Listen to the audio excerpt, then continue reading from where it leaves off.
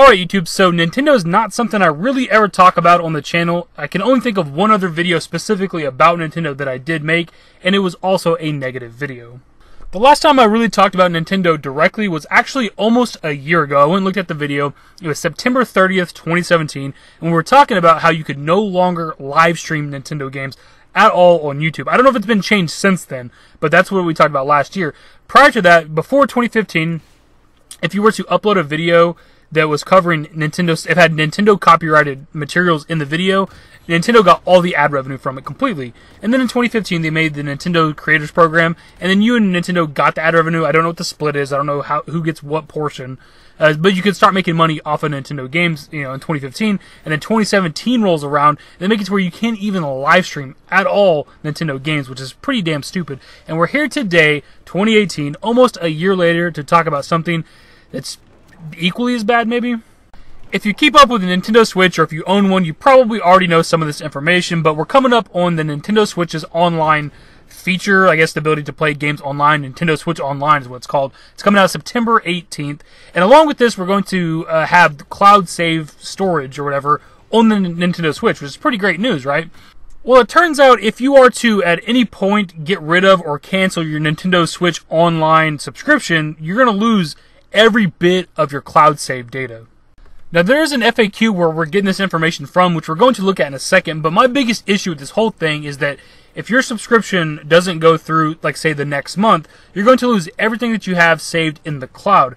The issue I have with that is, like, sometimes the, the, the, the card I use for my Xbox, like the debit card I use for, you know, buying games online and doing my Xbox Live, just doesn't work. It doesn't go through. It happened literally this month. Like I, I was, you know, had the month monthly renewal from Xbox Live, and this month it just wasn't working. I don't know why. There's plenty of money on the card, but it just did not want to renew, and I was forced to go to the store and buy one of the like the cards, like the three month, twenty five dollar Xbox Live Gold cards, because I need Xbox Live for obviously Fallout 76 is coming up, but for some other games that I play and stuff. But let's just say that David happens to have a Nintendo Switch and I sign up for Nintendo Switch Online so I can play some games online. But the next month rolls around and my card messes up again. For whatever reason, it just doesn't renew. I then lose everything that I have saved on the cloud just because I don't have a subscription anymore to Nintendo Switch Online. Like, that's pretty fucking stupid as much praise as Nintendo gets, they are honestly pretty damn anti-consumer. When you think about it, especially with the YouTube stuff we referenced at the beginning of the video, where they're like making all the money and then a little bit of the money, and now you can't even live stream, and then now this, like, this is a big step for the Nintendo Switch. Like, you get to play the game online. They're also introducing cloud storage, which is great, but it's like the instant, the instant that your cloud, that your Nintendo Switch online is gone, you lose everything that you have on the cloud. Like, that is absurd. So right here's the question. It says, after my Nintendo Switch online subscription expires, will my save data cloud files in Nintendo Entertainment System Nintendo Switch Online save data be erased? And the answer is, save data stored with Save Data Cloud cannot be kept outside of the duration of your Nintendo Switch Online membership. Nintendo Entertainment System Nintendo Switch Online also uses the Save Cloud data, so the same applies. However, if you keep the Nintendo Entertainment System, Nintendo Switch Online save data saved locally on your Nintendo Switch console, then you can use it again if you purchase another membership.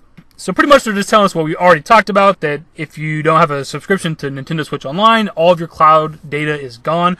So they're pretty much telling you there to also save everything to your hard drive, to your local console, to your actual Switch, in case that happens so you don't lose anything. But that, that's not enough. Like, that's not a fucking proper answer to this situation this is all kind of new information to me because I kind of live in the bubble of Xbox One because that's the only home console that I have that I really even play. And with when it comes to Xbox One, cloud storage is absolutely free. You don't even need Xbox Live Gold.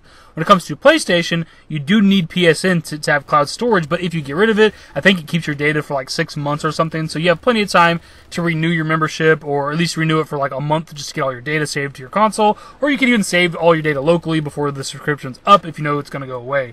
Uh, but when it comes to Nintendo, the instant it's, it's your subscription's gone, you lose all of your cloud data, which is kind of crazy. And when when it comes to me, I don't know about you guys.